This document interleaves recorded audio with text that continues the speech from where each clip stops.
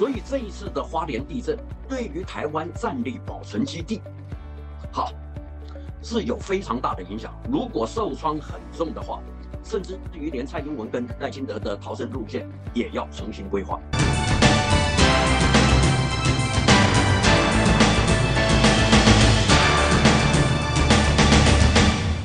各位观众，大家好，我是有话直说的主讲人张有话。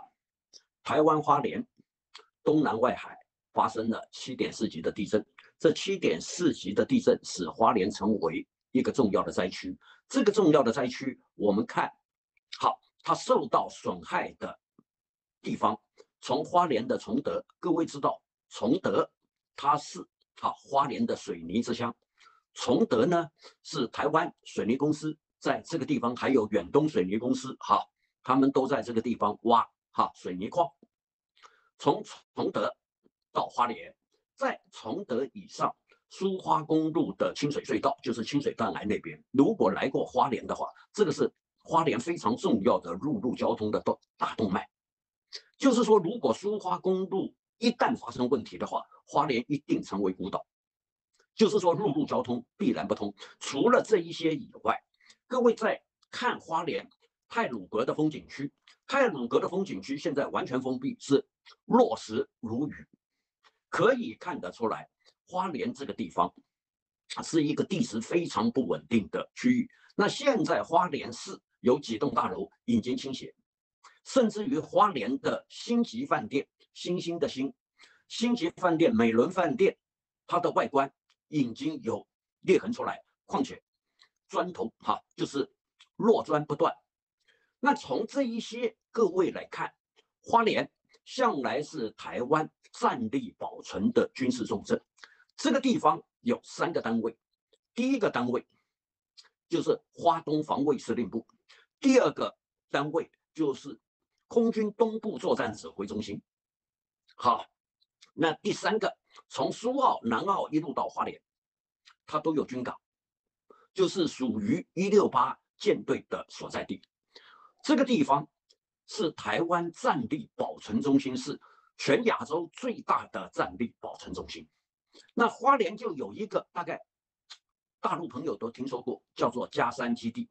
嘉山基地它整个的基地，它的抗震力度高达七级以上，可是这次是七点四级，七点四级。那花莲的加山基地是山腹挖空以后，是把飞机藏在里面。真正需要使用的话，它会好从山腹里面拉了出来。因为花莲机场它有两条跑跑道，一条跑道就是衔接加山基地，一条跑道是民航基地。所以我们可以看得出来，这个地方进行所谓的夜航训练都在这里。那它夜航训练的范围，各位可以看。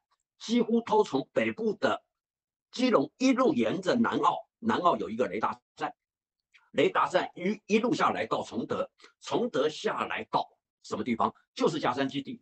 那现在崇德的情况那么的严重，那嘉山应该也是哈，嘉山应该也是会受创，只不过它受创的状况是不明，因为它当初在设计的时候，就是我们讲的叫做七级以上的强震。然而这次是七点四级，而且贴近花莲，贴近花莲。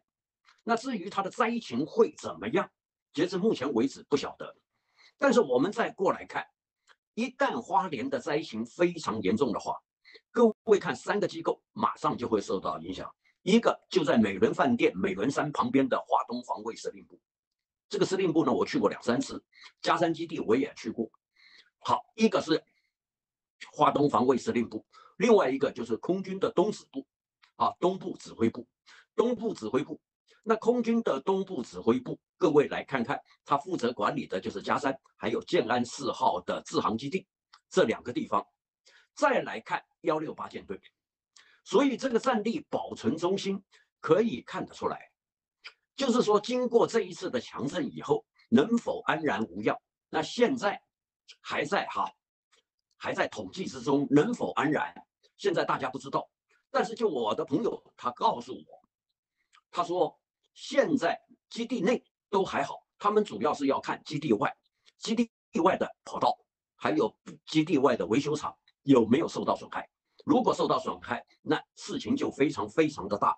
这个是加山的状况。那至于华东防卫司令部，现在也派员，准备派员到花莲抢救灾情。那幺六幺六八舰队，各位可以看得到，他从苏澳，那现在南澳这一段路清水断来这条路已经完完全全崩落。那崩落以后，就是陆路交通反正不通。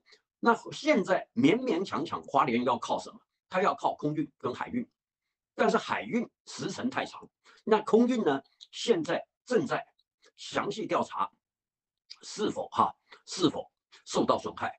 所以这一次的花莲地震。对于台湾战力保存基地，好是有非常大的影响。如果受创很重的话，甚至于连蔡英文跟赖清德的逃生路线也要重新规划。